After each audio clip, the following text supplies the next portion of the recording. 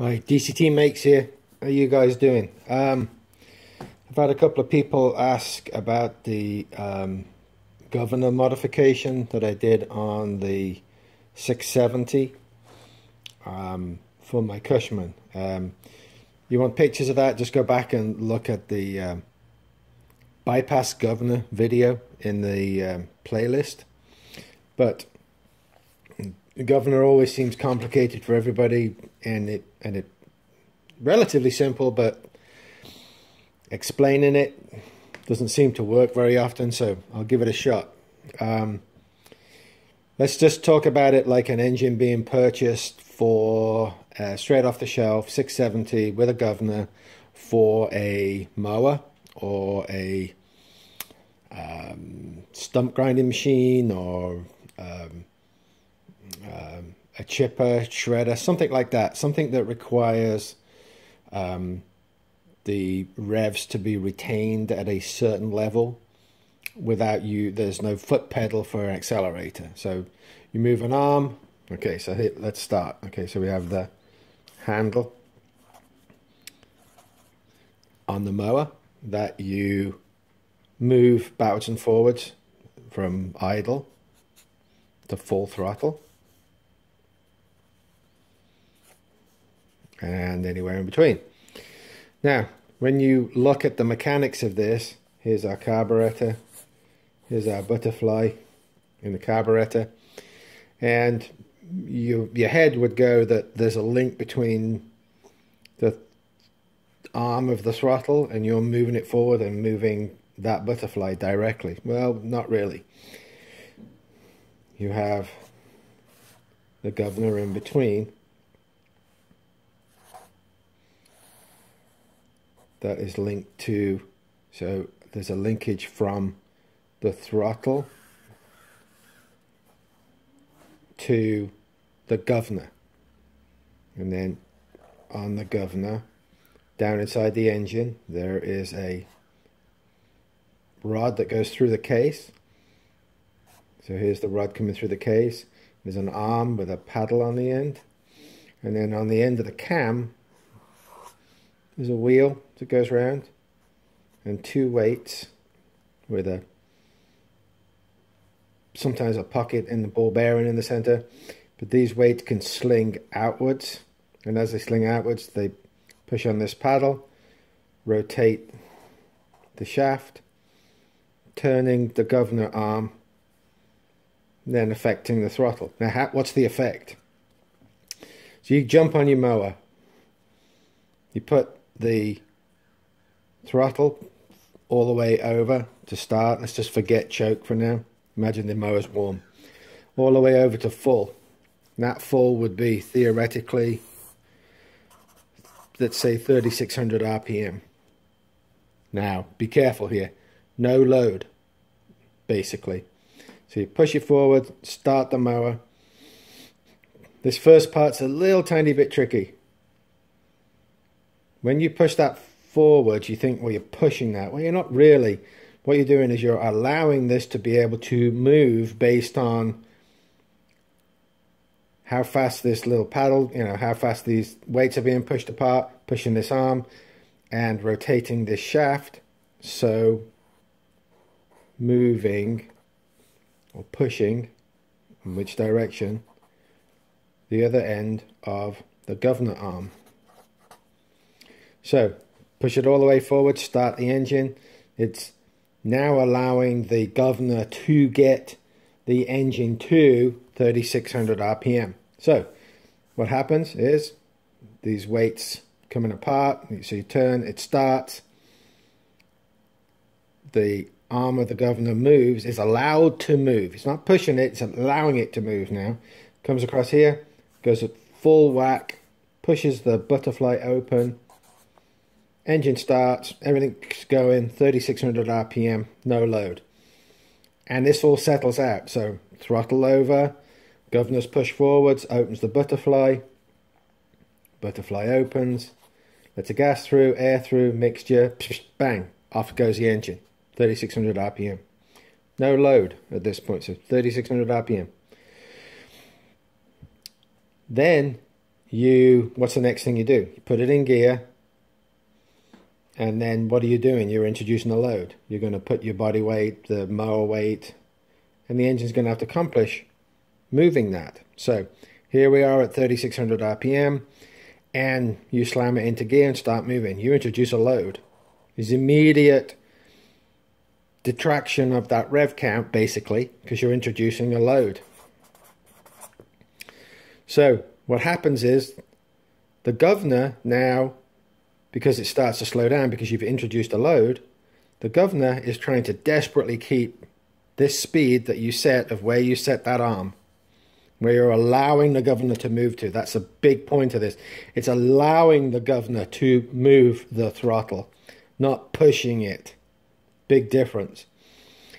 So up, you're driving, and you hear the engine come back up and the engine comes back up and tries to accomplish this 3600 rpm again so you're driving along next thing you do on the mower is what you switch on the deck bang another load now we're not cutting grass at this point just switching on the deck introduces another load the engine revs go down governors you you you introduce a load here it's using more energy, basically. Let's just call it energy.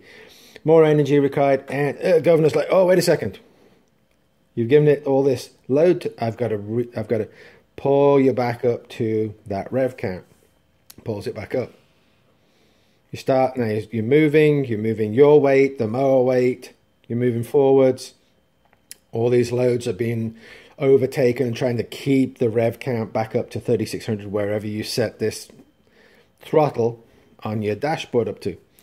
Then you start cutting grass, wet grass, and you introduce another load.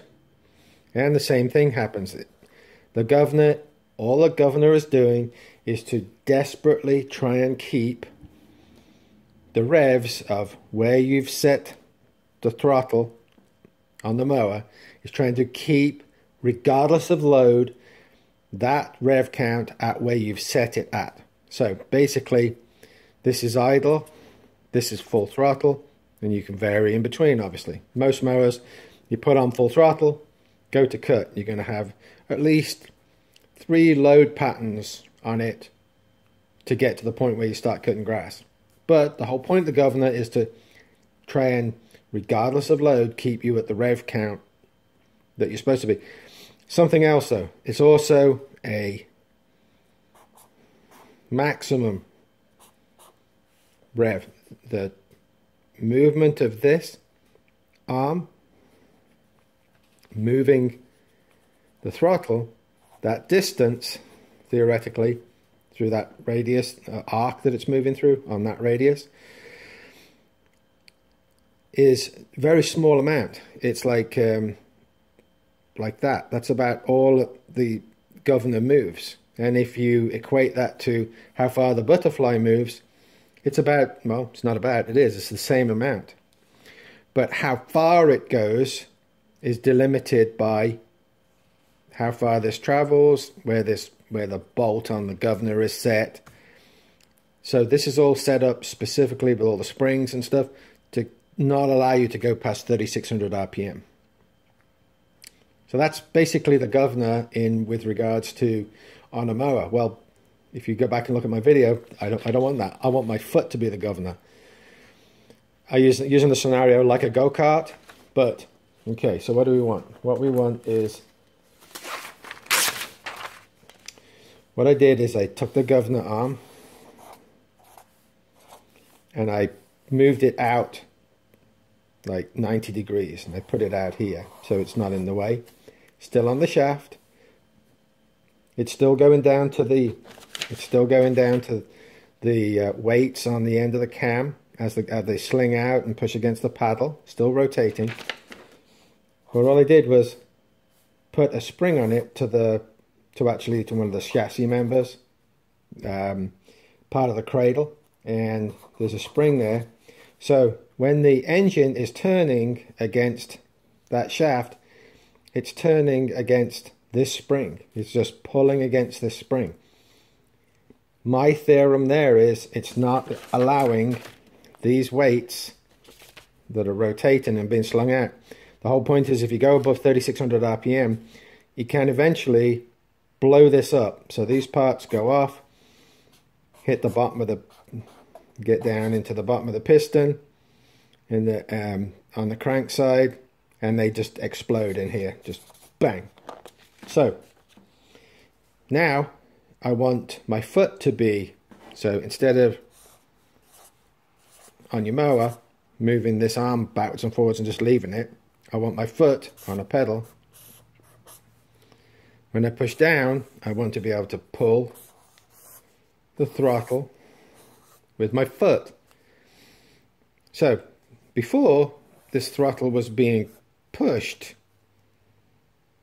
open at the bottom. It was being pushed at the bottom to actually physically open the butterfly by the governor shaft. Well now I'm actually pulling it from the top that way and I have a spring going here just to the body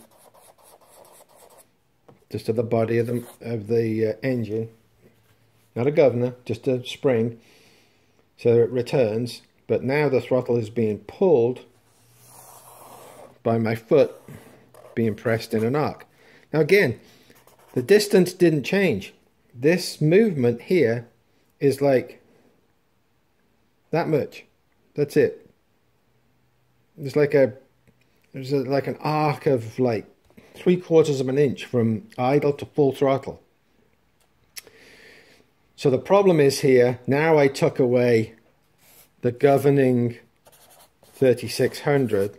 So if I mess with the carburetor and more fuel and I can, you know, get it to work, theoretically I am going to put the engine up over 3600 RPM.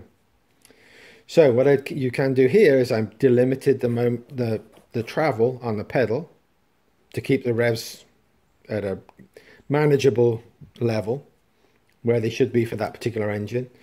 Or I delimit the amount of travel on the throttle butterfly with a little screw that I can turn in and out, like the idle screw, but on the other side for highest uh, revs on the engine. So that's what I did. That was my theorem behind. You could take the engine apart and remove the governor assembly. Again, if you do that, you're you know replacing gaskets, seals, um, time, you know. Whereas with this, I'm putting the spring on the governor, moving it out the way. So when the engine's acting on it here, it doesn't try to explode the bottom end. And this has worked. I mean, um, before I delimited this, I had it uh, pretty much well over 3600 RPM. But the whole mechanic of all of this was when I was using the pedal with the governor in, it would actually, it was terrible. You would go to change gear, the governor would react to the load coming off.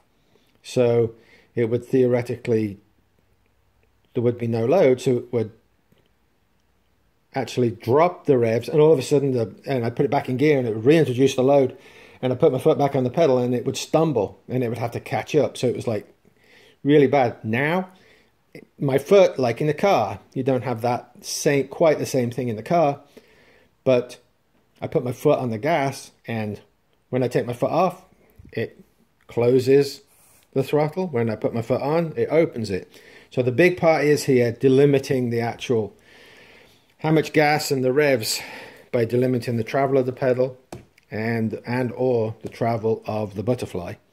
These are obviously in relationship to each other in terms of how far they're moving. There's a cable between on mine. There's a cable between the foot pedal and you can see that in the video. And the and the throttle blade actuating arm. Um, that's it. You got any questions give me a shout. But uh, this part's probably the, the, the hardest part is understanding you're not actually pushing the the governor. You're now allowing the governor to move when you move this forwards because the hand throttle on your mower is attached to the governor not to the actual throttle of the carburetor directly. Hey, give me a shout, talk about it. See you guys later. DCT makes out. Bye.